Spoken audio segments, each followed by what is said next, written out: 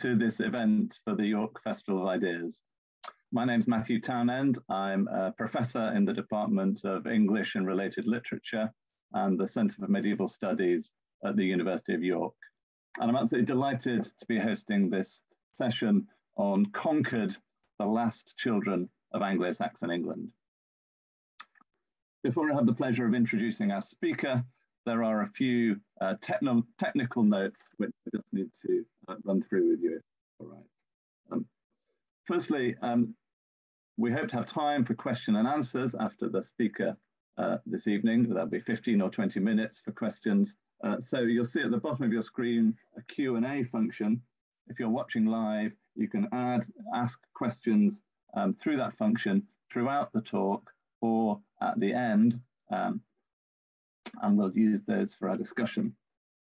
Obviously, uh, if you have any problems, uh, technical issues such as Wi-Fi failure, um, and you lose the link, don't worry, you can just rejoin the, rejoin the event uh, using the original link.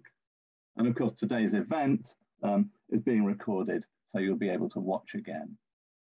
Finally, um, uh, subtitles are available for this event, uh, so you can switch them on using the CC live transcript function at the bottom of the screen.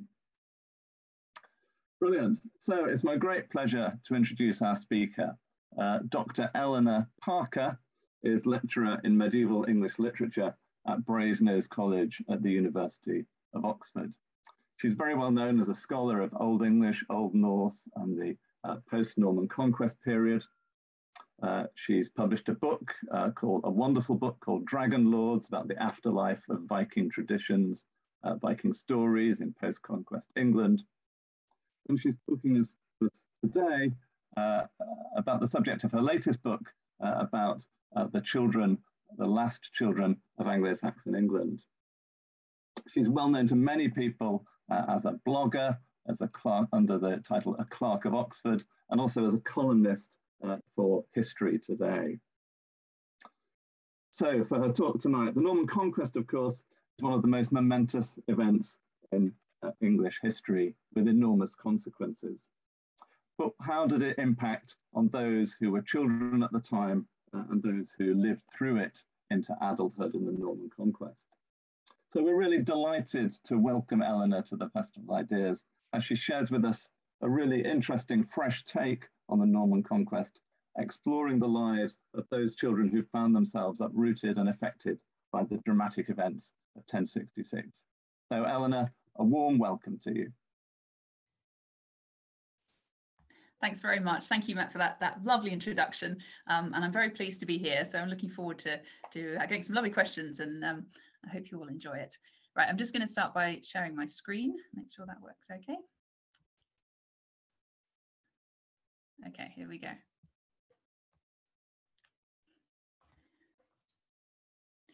So it's lovely to be with you virtually. Um, I don't know how many of you are, are kind of physically in York right now. Um, I know some of you are. Um, I personally am in Oxfordshire, so unfortunately I couldn't make it to York.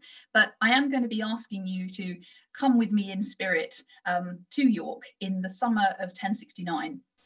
Um, because in that year, York became the epicenter of rebellion against the new Norman rulers of England almost three years after the Battle of Hastings had brought England suddenly and violently under Norman control. The events of 1066 changed England dramatically, but of course those changes did not happen overnight. They developed over the subsequent years and decades. Um, and what I'm interested in, as Matt was saying, is how those changes were experienced by the generation of young people who were growing up through that period a generation of English children reaching adulthood in a country which was changing very fast um, as they were learning how to adapt or not managing to adapt to this very new Norman world. So in my book, I explore the stories of a number of different young men and women of this generation in different kinds of positions. Um, and I would love to talk about all of them today, but of course I don't have time for that um, in 40 minutes. So I'm going to focus on just a few of them. Um, and kind of in honour of York, I thought I would look especially at those who took part in the anti-Norman rebellion at York in 1069, um, and then think about what happened to them afterwards. So before I talk about that, let me introduce the main characters in our story today. So all of the, the young men and women you can see there, these are our children of Anglo-Saxon England. They were all roughly the same age. They were in their teens in the 1060s. And they all belonged to families which had been prominent in England before the Norman conquest and had suddenly lost that power and status, leaving these young survivors in a very precarious position um, when the political situation changed. And these young people had other things in common too. All were fatherless. They had all lost their fathers either in 1066 or some years earlier, um, although their mothers were still around. As children, they had all been educated for lives of opportunity and power. Um, but after 1066, they were reaching adulthood in a country dominated by a new ruling class who were imposing their authority on all aspects of English life and were often either indifferent or actively hostile to the country, culture of the country they had conquered, or were eager to appropriate aspects of that culture for their own purposes. So these young people had all suffered significant loss as a result of the conquest.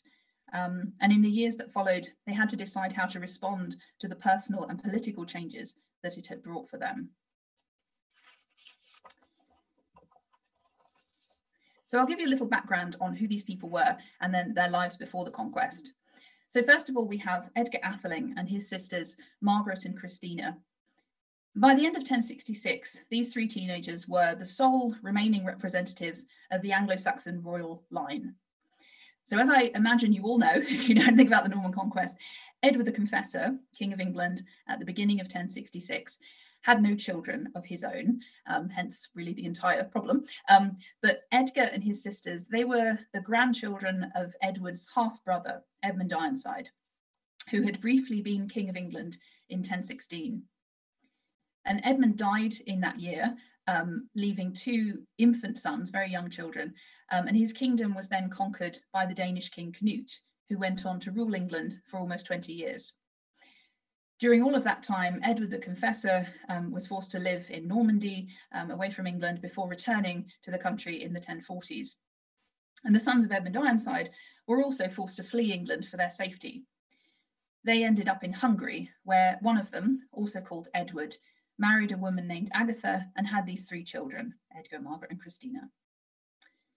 So those, these children were born in Hungary, probably knowing very little about England and probably with not much expectation of ever going there or finding out much about it. Um, but in the 1050s, when Edward the Confessor, by now King of England and childless, was thinking about the succession, he sent messengers to the continent to kind of track down his nephew and bring him and his family back to England. So Edward the Exile, as he's often called, and Agatha and their three children um, came to England in 1057. And Edward died very suddenly soon afterwards um, and leaving his wife and children in this strange new country. Edward the Confessor, in a way, then kind of adopted them or had them educated and treated the boy, Edgar, as a potential heir. Um, since after Edward, Edgar really was the only surviving male heir of the line of the kings of England. And that's why he's known as Edgar Atheling um, in, from contemporary sources. That's an Anglo-Saxon term referring to someone of royal blood, someone eligible to inherit the throne. Um, Edward the Confessor's plans for the succession after his death have been the subject of a huge amount of debate, um, but it seems quite likely that at least at some points um, in his reign, he and also other people at the English court considered that Edgar had the strongest natural right to be king. But of course, that's not always enough. So in January 1066, when Edward the Confessor died, Edgar was still fairly young, um, 14 or so, and apparently not considered old enough to become king, or at least not old enough to defend his claim against anyone who was going to press theirs more forcefully. So instead, the crown was promptly seized by Edward's brother-in-law, Harold Godwinson. And that brings us to the next group of characters in our story, who are Harold's children. So there is Harold Godwinson being crowned in January 1066, of course, on the Bayeux Tapestry. Um, and Harold was able to take the crown because he was not only the king's brother-in-law, but also a member of the most powerful non-royal family in mid-11th century England. His father, Godwin, had risen to prominence under King Canute as Earl of Wessex, um, so benefiting very much from the Danish conquest of England just as Edward the Exile and his family had been materially harmed by it. and Godwin married a relative of Canute, a Danish woman named Gytha. So the Godwinsons, Harold and his brothers, they were English on their father's side, but on their mother's side, they were very close relatives of the kings of Denmark, and that's going to be important to our story later on. Godwin and Gytha had a large family of children, six sons and three daughters, who by the end of Edward the Confessor's reign held many of the most powerful positions in English politics, including some of the largest and wealthiest earldoms in the kingdom. When Edward died, Harold was in a strong position to take the throne, whatever Ed Edgar Atheling and his supporters might have thought about it. But Harold was not just a king, he was also a father. When he died in battle at Hastings, alongside two of his brothers, he left behind several surviving children. The exact number is a bit unclear because they were all relatively young at the time of Harold's death, um, so not really yet old enough to have done very much um, or, or, kind of made their way into the historical record. Um, but he seems to have had at least seven children by different women, uh, probably most of them with his long-term consort Edith. Um, and I'll talk about five of them, um, the ones we kind of know the most about really. So three sons, Godwin, Edmund and Magnus, and then two daughters, Gytha and Gunhild. All of them probably in their teens or younger when their father died. And they were in an especially difficult position when they lost their father because the new Norman rulers of England, having defeated Harold in battle, were now very keen to present him as an illegitimate king, a usurper and a perjurer, and to blacken his name as much as possible.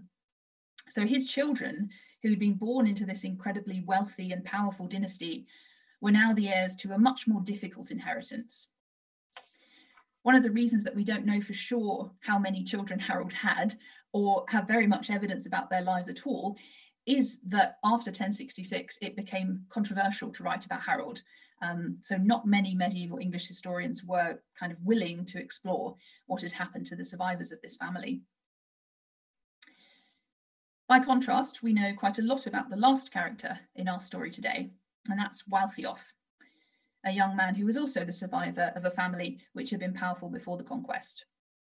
So Waltheof's father, Siward, had been Earl of Northumbria, the huge and important earldom which spanned the north of England. And like Harold Godwinson's family, Waltheof was part Danish because Siward, like Harold's mother Gytha, um, was Danish and had come to England during the reign of Canute, when England was part of Canute's Scandinavian Empire. As Earl of Northumbria, Siward had married into an Anglo-Saxon family, the ancient line of the Earls of Bamburgh, who had ruled northern Northumbria for many generations. So Waltheof was Danish on his father's side, but on his mother's side, he had very deep roots in Northumbria. And it's likely that Waltheof, he was born around 1050, um, and he probably spent his childhood kind of in or around York. That seems most likely, um, because Siward seems to have had his residence there. Um, when he died, he chose to be buried in York in the Church of St. Olaf, um, which he had founded there himself, and which is still there, and designed as the place of his own burial. And Siward dedicated this church to the Norwegian saint, um, King Olaf, who had only died a few decades earlier in Norway. And that suggests that Siward and his family, like the Godwinsons, kept in very close touch with what was going on um, politically and culturally in Scandinavia. They really did have very strong continuing links to the Scandinavian world. So Siward died about 10 years before the conquest. Um, and at that point, the earldom passed to Harold Godwinson's brother, Tostig, um, but by the time of the conquest, Waltheof was old enough to hold a smaller southern earldom um, based around Northampton and Huntingdon in the East Midlands. In 1066, Waltheof doesn't seem to have fought at Hastings, at least we don't have any evidence that he did, um, but he may have fought in some of the earlier battles of that autumn in which the English tried to fend off an attempted Norwegian invasion led by Harold Hardrada. Um, there is some suggestion that Waltheof may have been at the Battle of Fulford, which was fought just outside York. Um, and given Waltheof's connection with York, it seems kind of possible that he was there. So in 1066, in the weeks after Harold's defeat at Hastings, some of the defeated English rallied for a time behind Edgar Atheling as their next king. Despite Edgar's youth, some of the English leaders acknowledged him as king um, and promised that they would fight to defend his rights, um, but that kind of never came to pass. Those efforts to, to organise resistance at that point uh, came to nothing. And so by December 1066, Edgar and other English leaders had submitted, and William was crowned as king at Christmas 1066. The following year, William returned to Normandy to deal with his affairs there, and he took with him a group of leading Englishmen, um, including Edgar Atheling and Waltheof. So the idea was probably to prevent them from causing trouble in his absence. Um, they sort of they weren't technically being held hostage, but it, that was kind of effectively the situation, and probably he just wanted them under his eye. Um, it suggests that he did see these young men, these survivors of English families, as potential sources of opposition. And meanwhile, as the Anglo-Saxon Chronicle famously says, the Normans built castles widely throughout the country and oppressed the wretched people and afterwards it always grew very much worse. May the end be good when God wills. In terms of the peace of the kingdom, it did get much worse. While William was absent in Normandy, rebellion started brewing in England, in different parts of the country, but especially in the southwest, where it was led by the surviving members of Harold Godwinson's family. Um, William should have taken them to Normandy and kept them under his eye, failed to do that. Um, with Harold and his brothers dead, the head of the family was now their widowed mother, Gytha, whom I mentioned earlier. And Gytha seems to have been an extraordinary woman. Um, at this time, she was probably in her late 60s. She was a widow. She had lost four of her sons within the space of just a few weeks in 1066. And now she was left to pick up the pieces of this shattered family. And she seems to have taken quite an active role in encouraging resistance to the Normans. Even though she was you know, the mother of the discredited King Harold, considering her age and her position, she probably would have just been left alone by the Normans um, and lived, you know, allowed to live in peace if she had been willing to submit quietly, as her daughter Edith did, um, the widow of Edward the Confessor. But apparently Gytha was not going to give in without a fight. She and her supporters seem to have coordinated armed resistance around Exeter, a city to which Gytha had close links.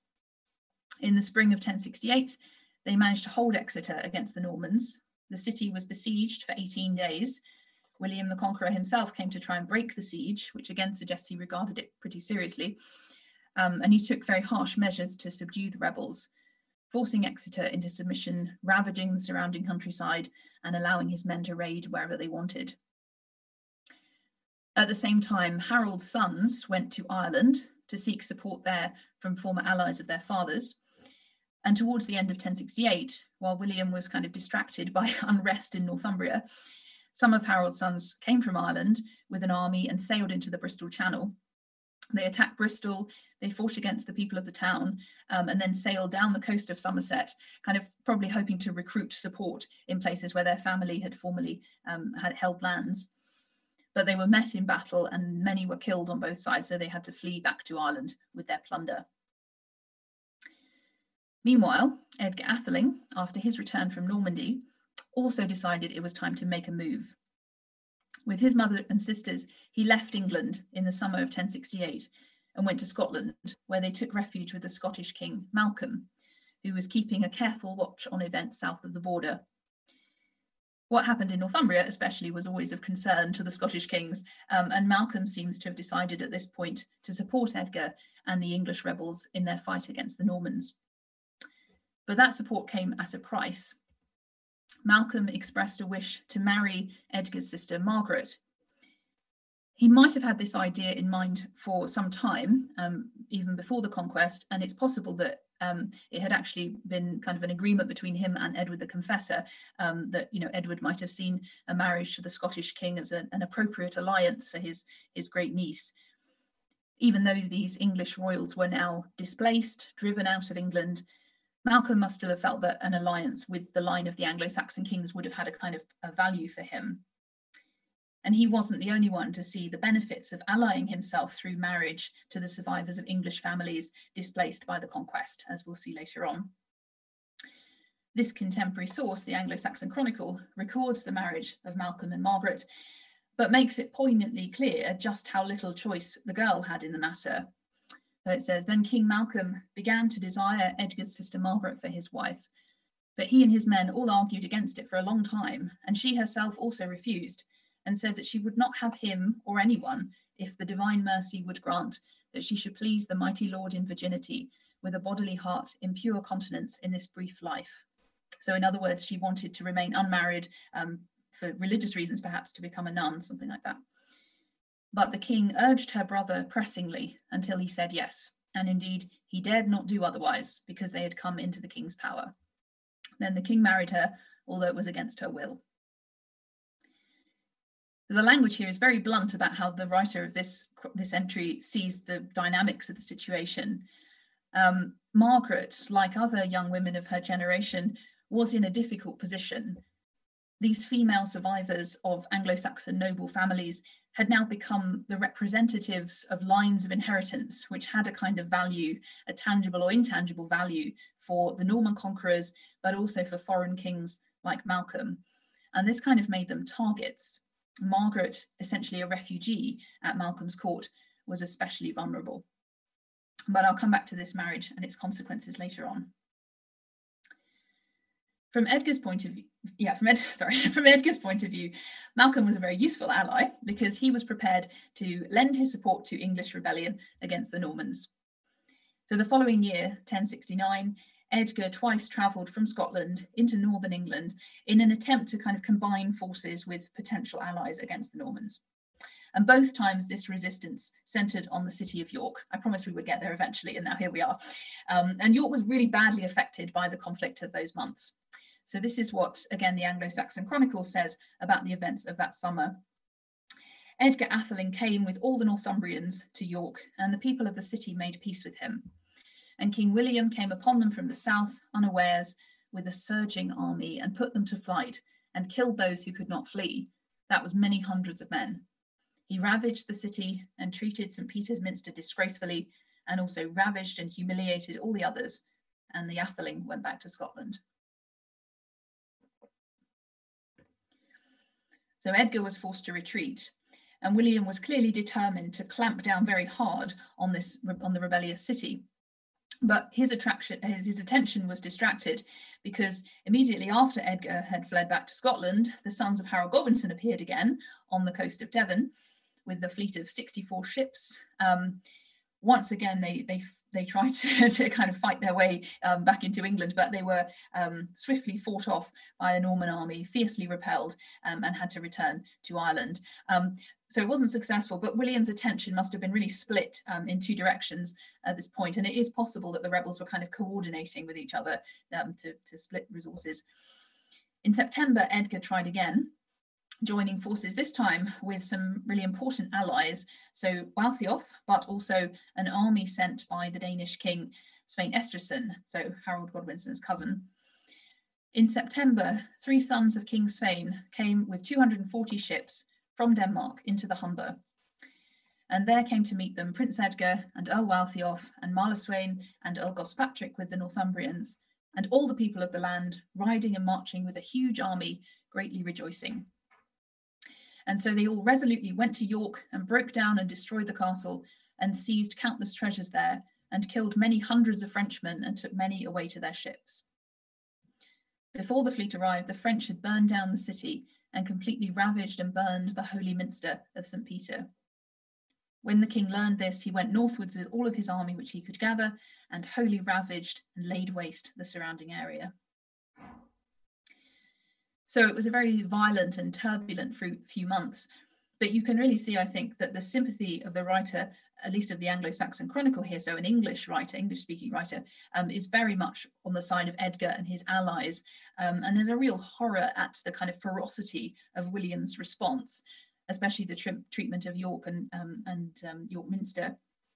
And the castle at York, which is mentioned here, had really only just been built by the Normans um, the year before as a, an imposing visual symbol of the new regime's power. So for the rebels to destroy that had a kind of symbolic power as well as a military value.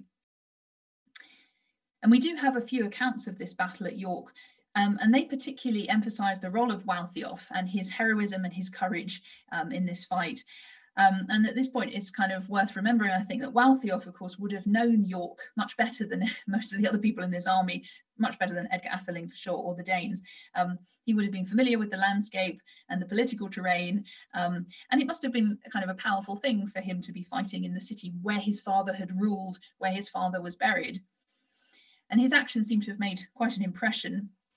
So the 12th century historian William of Malmesbury says, in the battle at York, um, Waltheof laid low many of the Normans single-handed, beheading them one by one as they issued from the gate. He had great strength of arm, powerful chest muscles, his whole frame tough and tall. I looked very hard to find a, a, an illustration that might kind of depict this moment for you, but sadly I couldn't find anything. So if there are any artists who want to depict Waltheof uh, decapitating Normans, I think that would be a good subject. There's also a surviving poem which praises Waltheof's heroism um, written probably by someone who knew him personally. Um, so it's a poem in Old Norse, probably by, most likely by a Norwegian or an Icelandic poet, um, who seems to have been one of Waltheof's followers, because he speaks elsewhere of Waltheof as my lord. Um, and it's a fairly bloodthirsty but quite impressive celebration of Waltheof's victory over a group of Normans. So he says, a hundred of the king's soldiers were made to burn in hot flames by the Yggr of battle, um, which is a, a, kind of name for Waltheof, I'll come back to it. Um, that was a roasting evening for men. It's known that warriors lay under the claw of the ogress's steed. The grey horse of the troll woman was given food from the corpses of the Normans so we don't know for sure what's what incident might be being referenced here, but it does seem likely to relate to something that happened during the Battle of York, um, especially given the references to fire, which are mentioned in other accounts of the battle. And this poet takes a very grim pleasure in the deaths of the Normans. He's kind of relishing this gruesome image of, of the battle as a roasting evening. So like a night for feasting on roasted meat. Um, which is the flesh of the Normans, and, and their flesh has been left for the wolves to devour. Um, not literally, we, we can hope it's a, it's a kind of a poetic trope. But this verse is, is very interesting um, because it belongs to a tradition of Old Norse poetry, which is often used to celebrate warriors and Viking kings. Um, it's very often military, often very violent, um, but also poetically very sophisticated. And it's very much not an English poetic tradition it was a tradition imported into England, brought into England by the Vikings. Um, and it's, it's very rare to have a poem of this kind written about an English warrior uh, like Waltheof. So notice that it uses details of Norse mythology, for instance. So Yggr um, is a name for Odin, the god Odin, as in Yggdrasil, um, if you know anything about Norse mythology. Um, so Waltheof is being called the Odin of battle as a sort of name meaning warrior. Um, and there are these references to trolls as well, and ogresses and wolves and so on. So all very kind of Norse. Um, so that, you know, you've got these references, even though Waltheof himself was a Christian, his father founded a church, as I said, and, and as I'll talk about later, Waltheof became a Christian saint. Um, but all of those mythological allusions, they're part of the kind of texture and the conventions of this genre of poetry. Um, and clearly Waltheof and the people around him understood and appreciated this kind of verse, which tells us something interesting about how strongly Scandinavian Waltheof and his circle must have been. At York, they were fighting alongside the Danish army, um, who may have been hoping not to put Edgar Atheling on the English throne, but to conquer England for themselves. Um, and it's not entirely clear whose side Waltheof would have been on, whose interests he would have supported. Anyway, despite their victory, this triumph of Waltheof and Edgar was very short-lived. William recaptured the city and punished the surrounding region for its support for the rebels with the notorious harrying of the north. After this, Edgar and Waltheof and the sons of Harold all seem to have given up on the idea of organised resistance to the Normans, at least at this stage, some of the rebels didn't. They they regathered. They tried again at Ely the following year. Um, that's where Hereward the Wake got involved. Um, the most famous anti-Norman rebel, maybe. I don't have time to talk about him, unfortunately, but I do talk about him a lot in my books. So if you're interested. Um, but of course, that this rebellion too was was ultimately unsuccessful. So what happened to these young people after the collapse of their rebellions? What did they do for the rest of their lives? They had quite varied fates. Um, and the diverse ways in which their lives turned out and the ways in which their stories were remembered or forgotten are very revealing about how England was changing in the years after 1066. So to take Waltheof first, after the rebellion was defeated at York, he agreed to submit to the king um, and he was pardoned. And William was very generous to him. Um, he arranged for Waltheof to marry the king's own niece, Judith. And then in 1072, Waltheof was given his father's former earldom of Northumbria. So William had perhaps decided that Waltheof could be a useful ally in trying to control the north of England, which was always a rather uh, tumultuous place. Um, and it was best to keep his former enemies close. Maybe that was the idea. Waltheof's long-standing connections in Northumbria on his father's and his mother's side uh, probably made him kind of potentially useful in William's eyes. But this peaceful arrangement didn't last. Three years later, just three years later, Waltheof became involved in another rebellion, this time led not by English rebels, but by the Earls of Hereford and East Anglia. It's not exactly clear what Waltheof's involvement in this rebellion was, what exactly the rebels were trying to do, but it does seem to have been another attempt to defy William the Conqueror's authority. Waltheof, although apparently aware of the plot and helping to keep it secret, was not actually its leader. Um, his his co-conspirators seem to have been kind of the more active movers. The revolt was swiftly suppressed, the rebels were harshly punished, um, and with effect, because this proved to be the last serious rebellion against Norman rule in England. And Waltheof, although apparently the least guilty of the three earls, received the harshest punishment. So the other two earls, they lost their English lands. One was imprisoned, um, and the other just left England for, for Brittany, where he had other possessions, so he was fine. Um, but only Waltheof, Waltheof alone was sentenced to death. He was beheaded in Winchester on the 31st of May, 1076. And it's not really clear why he received a much harsher sentence than his fellow conspirators. Um, it may just be that William was kind of glad of an opportunity to get rid of him, really. Um, you know, it was a chance to dispose of someone who would maybe seemed like he wasn't going to be very loyal. Um, but his death was controversial. It was seen at the time by many as too harsh, um, as disproportionate. And at the place where Waltheof was buried, um, Crowland Abbey in Lincolnshire, which you can see on the screen there, um, Waltheof came to be seen as a martyr and as a saint. So some people thought he'd got what he deserved, but in the region around Crowland, certainly he was remembered as a victim of Norman injustice, as someone who was cruelly punished just because the Normans were kind of especially hostile to the English. And Waltheof's death is also lamented in the Old Norse poem that I quoted earlier, which might give us an insight into how Waltheof's followers interpreted what had happened to him. And this says, certainly valiant Waltheof has been betrayed under a truce by William, he who bloodied weapons, who cut the icy sea from the south. Such a great description of the Norman conquest. Um, it's true, slaughter in England will be a long time ceasing. Yet my lord was brave, and a more splendid, generous leader will never die. So slaughter in England will be a long time ceasing. That's the judgment of this poet on, on the Norman conquest, really. But this, this lament for the fate of Waltheof and the fate of England um, is only recorded in Norse sources, um, which suggests that maybe some of Waltheof's former supporters had, had carried this poem to Scandinavia after his death. It probably seemed that with Waltheof's death, the last hope of rebellions or uh, those type of rebellion or kind of last hope of, of um, pushing back against the Norman conquest was really gone after 1076 um, and it was time to seek new opportunities. In the years after the conquest, many English exiles seem to have made their way to Scandinavia, um, including the children of Harold Godwinson. I have to use pictures of Harold Godwin because there are pictures of his children, so I just get more pictures of Harold, unfortunately.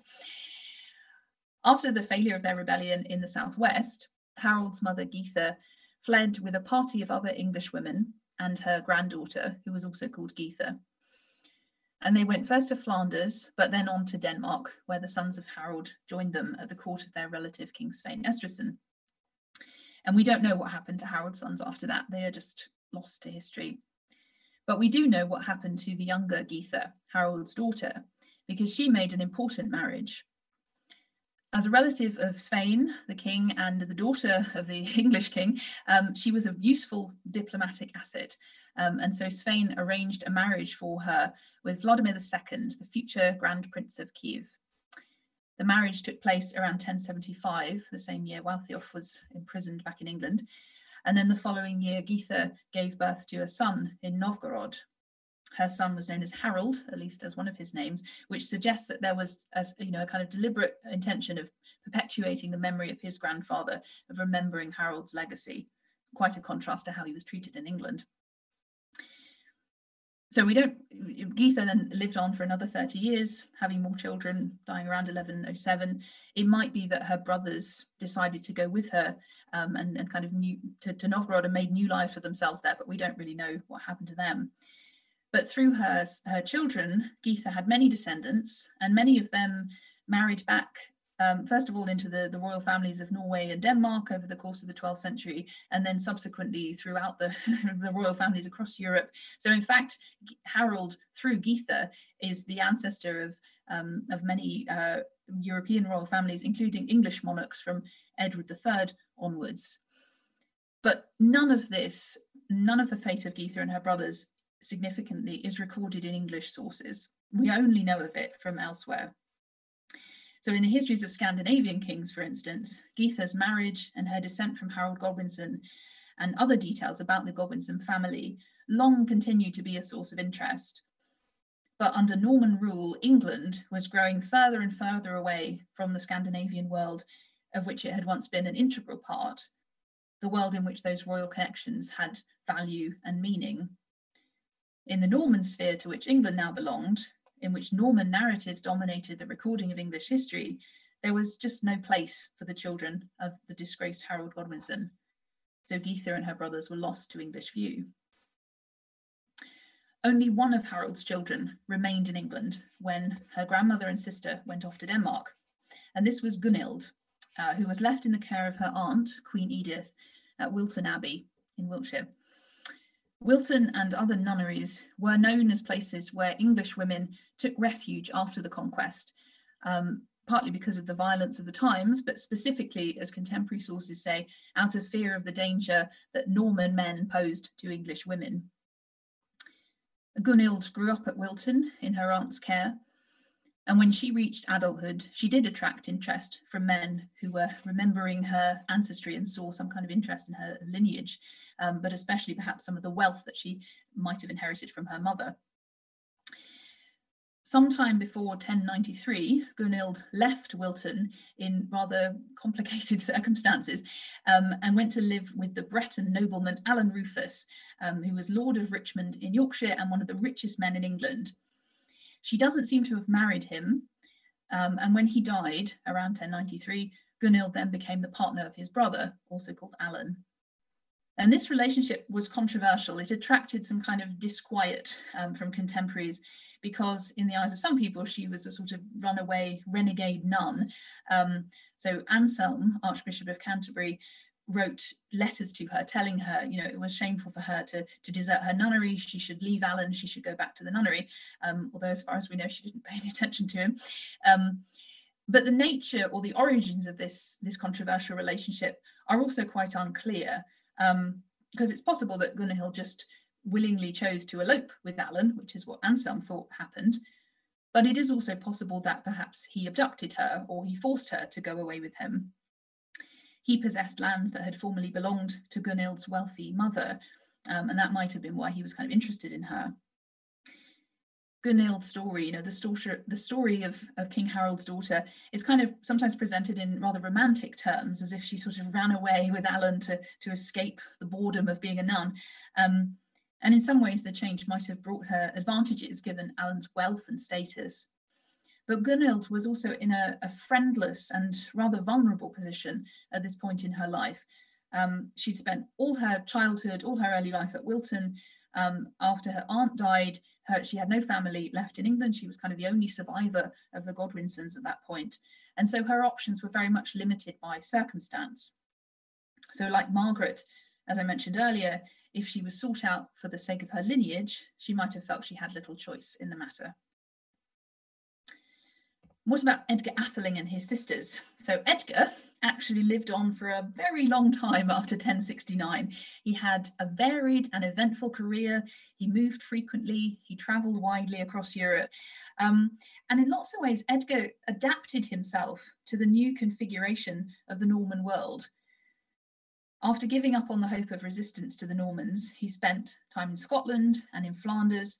Um, and then in 1074, he formally submitted to William and spent some years at the English court. So he was sort of allowed to be present at court, but he was never given an earldom or, or much wealth. So by contrast to William's treatment of Waltheof, he was kept much more at arm's length and not put into a position of influence.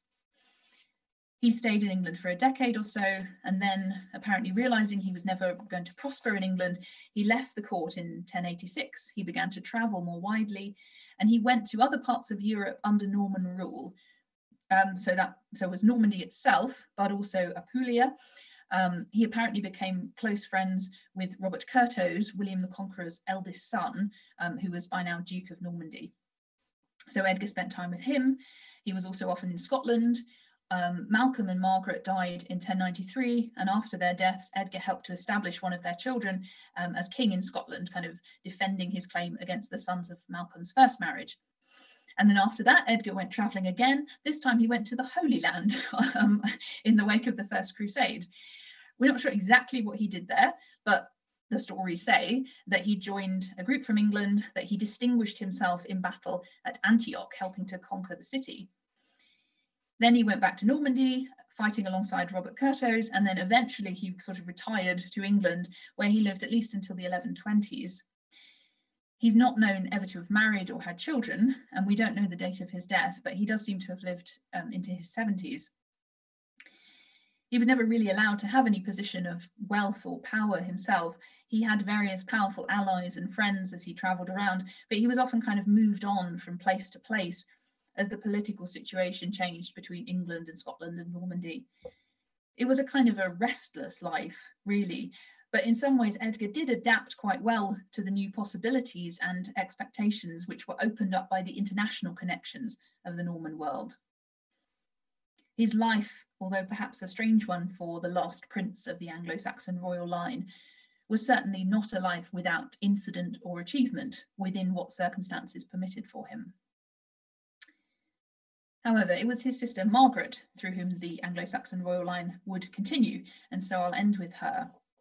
So I quoted earlier the Anglo-Saxon Chronicles account of her marriage, which suggests that it was unwanted, but also emphasizes Margaret's piety, her desire to devote her life to God. And part of the reason that the chronicler emphasizes that is that Margaret, by this time, was beginning to be venerated as a saint already, um, although you know, kind of written in her own time. Um, and so her life was being interpreted in that light. The intention is to stress that the marriage turned out for good, despite its difficult beginning, because that was God's will. Margaret had a destiny to do important work in Scotland. So the chronicler says here, it came to pass as God had previously ordained, and it could not be otherwise, just as he says that even one sparrow may not fall into a snare without his providence. The foreknowing creator knew beforehand what he wanted to accomplish through her, that she would increase the glory of God in that land and guide the king from the path of error and bring him and his people together to the better way and lay aside the sinful customs which that nation previously followed, just as she afterwards did. The king married her, that was against her will, but her ways pleased him, and he thanked God, who in his might had given him such a wife. He reflected thoughtfully, as he was a very wise man, and turned himself to God, and scorned every sin.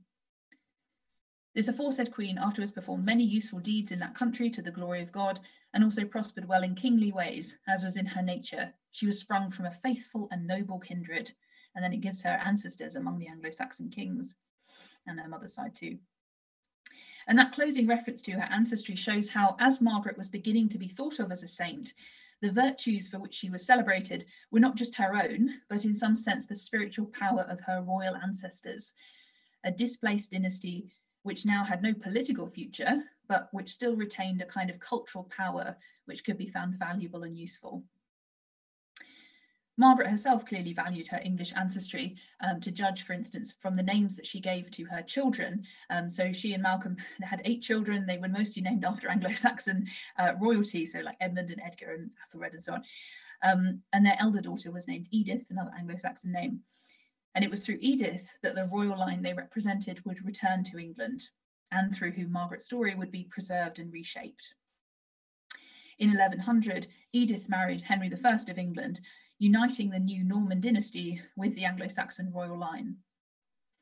After her marriage, Edith commissioned an account of her mother's life, which describes her saintly influence over Malcolm, her devotion to God, and her loving care for her children and her country.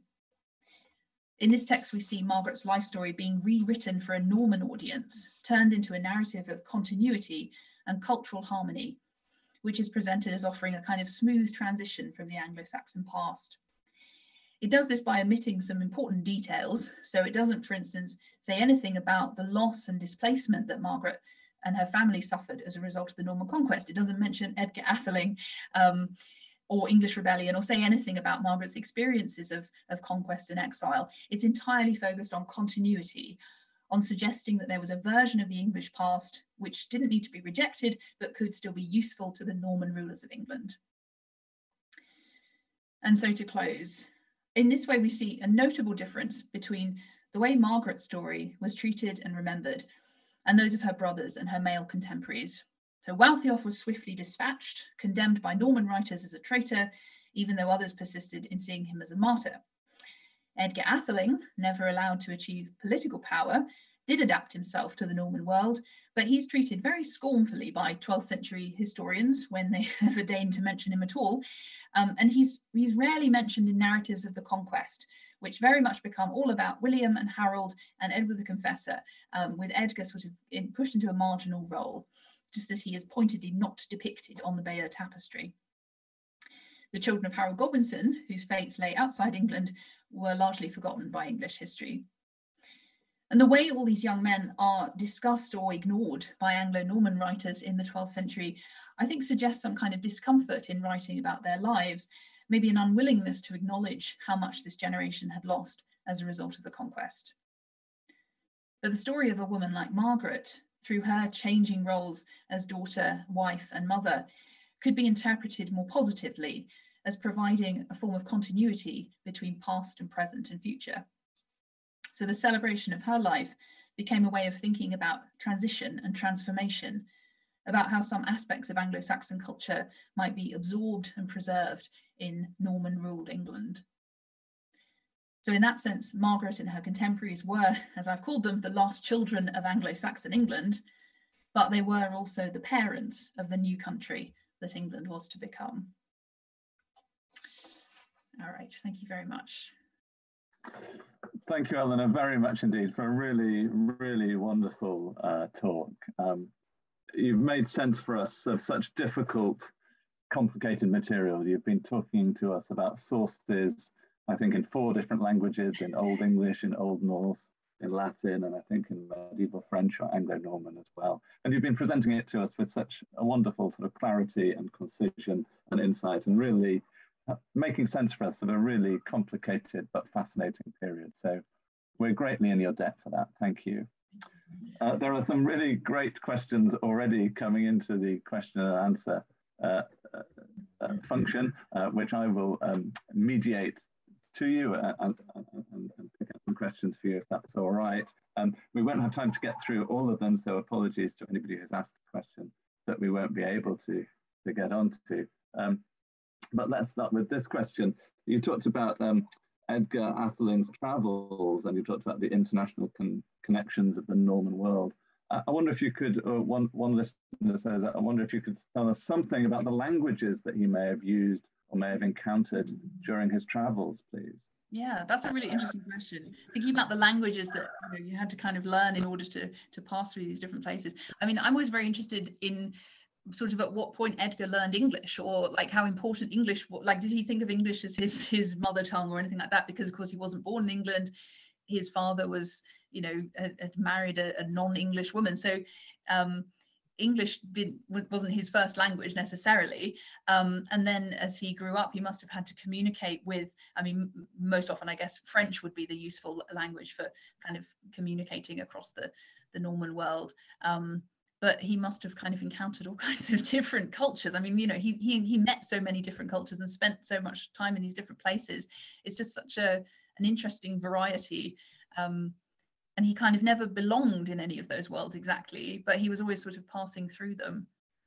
So he must have been quite adaptable, I think, must, you know, ready to, to communicate in different ways, not just in terms of language, but also maybe culturally and, and, you know, understanding how these different places worked.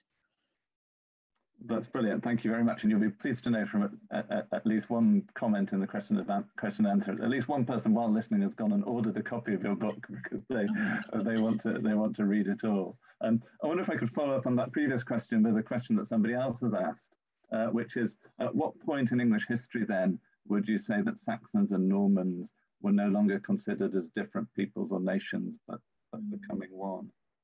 That's a very interesting question. It kind of, it probably depends a bit who you would ask, I think, because so um, after the conquest, in one sense, the Normans quite quickly began to think of themselves as English, or at least as that as being a, a part of their identity. They started calling themselves, you know, the Angli, and so the Anglais. Um, and so from their point of view, within, you know, almost a few years of the conquest, but certainly within a few decades, it wasn't an important distinction and yet from in the 12th century there are definitely sources kind of looking for more from the english perspective which continue to see it as a, a really important distinction that that there was a, a kind of an ongoing cultural split an important linguistics divide um, in which for instance if you were an english person who didn't want to or wasn't able to learn French and, and kind of communicate with the Normans, you were going to be held back in life. You know, you couldn't get on in the world if you weren't going to, learn to speak French and, and, sort of adopt a Norman persona, I suppose, Norman attitude. So, um, you know, in one sense, that divide didn't last very long, but in other ways, it kind of went on and on. And I think if you were on kind of the wrong side of it, it probably felt a lot more, um, you know, much more serious um, divide than if you were sort of on the winning side, I guess. Um, yeah. That's great. Here's a really wonderful question. So um, uh, uh, somebody asked whether um, if there's any one of these children that you've been tracing about whom we know very little. Um, one of these children whose history you would really like to know in its entirety, um, who would that person be? oh, that's a good question. I think I would really like to know what happened to the sons of Harold. Um, maybe especially Godwin. I feel like because Godwin bears the name of his of his grandfather, Godwin, who's such an important figure in English history, and the idea that Earl Godwin's grandson should just sort of disappear somewhere. Did he stay in Scandinavia? Was he in Denmark? Was he in Russia? Did he go to Ireland? You know, he too might have lived a, an interesting life, and we just don't know. We just can't kind of trace that. Um, so I think that that would be my answer. I'd really like to know what happened to him. Brilliant. And, and a follow up from a, a, a different uh, a different viewer. Um, he says that while researching the topic, while doing the research for your book, did you find that any of the figures were actually quite different from their common perception? I mean, Edgar, Edgar Atheling, insofar as people might know about him, perhaps doesn't necessarily have a terribly good press in historiography. So, um, was there any figure whose history um, either surprised you or is quite different from from from uh, general perception? Mm, I think it was Edgar actually, because I think you know we all learn stories about the Norman conquest quite early in our study of English history, and you learn about the important people are being Harold and, and William, and it's all about them. And then there's this sense that Edgar was a bit ineffective, or he sort of, oh, he was a bit of a failure. And so, and, and when you remember how young he was, that just seems very harsh to me that we are judging this boy for for not being able to take on the might of the Normans, you know, who were just so much kind of overwhelmingly more powerful than he could have been. Especially, I think, when you remember his his disrupted childhood, the fact that he was, you know, kind of came to England and didn't maybe know it very well and might often have felt like an outsider or something at, at, the court of Edward the Confessor. You know, in one sense, he was kind of the heir to the throne, but also there were these other powerful people like Harold Godwinson who were probably not willing to think of him as heir or something. So, you know, he's in a difficult position even before the conquest. And then this this kind of this thing happens that who would have been able to organize resistance to the Normans? I don't, you know, certainly it was a lot to ask of a teenage boy. Um, and so I think that sense of him as ineffective is just really, really unfair. And I was very just really interested to learn about, you know, his many travels and and the kind of variety of his life and and this sense that he was kind of I don't know, he he he adapted himself, he accommodated to to the loss of whatever kingdom or whatever expectations he might have had um, as a younger man uh, it wasn't like he was kind of pining all the time for for I didn't get to be king of England. He did have he moved you know he moved on. He had other things in his life. Um, so yeah, I came to feel very sympathetic to Edgar, and also I feel like we just ought to include him in the story of the conquest a little bit more. Brilliant. Um, I, I, I, we've probably got time for, for, for, one more question. We've got two or three minutes. Um, so I'm going to take the um, opportunity of asking a question myself, if I may, uh, Eleanor, um, continuing from what you were just saying about Edgar, which is about the whole idea of childhood, really. Mm. have we got any sense of um, the age at which childhood is thought to have was thought to have finished and adulthood begun in late in Anglo-Saxon England. It's always stunning to discover how how many of the major actors of early medieval history are in their early twenties or younger. yeah. Yeah, I know. So, sort of in in thinking about the book, I had to kind of think about how am I going to define children, or what does it matter? And like, I wanted to call them the last children of Anglo-Saxon England, but of course, in a medieval context, you know, 15-year-olds are not children really. They're they're entering adulthood at that age. So what I was thinking about in terms of of that kind of definition was about points i guess transitioning to adulthood. So sort of markers of maturity like marriage like possessing significant lands like having kind of taken a public position which none of these people had done before the conquest. So there are sort of there are young people who might fit into this group but you know if they were married before 1066 i wasn't as interested in them because i felt like they were older. And i think what interested me in about this group of people was that sense of people who had not yet found their place in the world you know who were still in a position of junior to as an older generation of fathers or leaders or you know kind of under the guidance of other people who then are sort of without that guidance what do they do next? Um, so yeah i think in in terms of sort of whether these are these people are are kind of children or adolescents i mean clearly in one sense they're not really children in our sense. They've got much more kind of activity and agency and are much more is expected of someone like edgar at 15 or whatever than would be expected of a 15 year old boy today. But also in terms of the kind of power or the influence or the experience that they might have or be able to wield they're at a disadvantage compared to to much older um, warriors. You know people of the generation of harold or william the conqueror No, no, thank you. It's an absolutely brilliant way of making sense of this period. I think a really, really sort of wonderful angle of approach. And as your talk has shown, it's, it's it, it reveals all sorts of, uh, you know, great facets of the period. We're coming to our conclusion. I'm sorry to say the time has absolutely sped by. So before I give a final vote of thanks uh, to Eleanor, um, there's just a few, if you like, technical notes to round off with on behalf of the festival ideas. Um, as I said at the start, um, the talk tonight happily has been recorded, so you'll be able to watch it on the festival YouTube channel uh, via the Watch Again section of the festival website after the 24th of June. Um, uh, as, uh, as I've indicated and as, as has been said in the chat, you can of course purchase a copy of Eleanor's wonderful book, Conquered. I recommend it very enthusiastically uh, from our partner bookseller, Fox Lane Books, uh, or elsewhere, of course. Um, and we very much hope, of course, that you'll continue to be engaged with the Festival of Ideas. Please look at our website. Um, please continue the conversation on social media uh, and so on, of course. But finally then, thank you very much to Eleanor for, for giving us all this amazing uh, account of um, the last children of Anglo-Saxon England, giving us this really uh, distinctive and profitable way into uh, understanding the Norman conquest. Thank you especially for giving a, a York inflection uh, to your talk. We, uh, we, we certainly appreciate that. So thank you very much. And uh, thank you everybody uh, for coming this evening. Thank you and goodbye.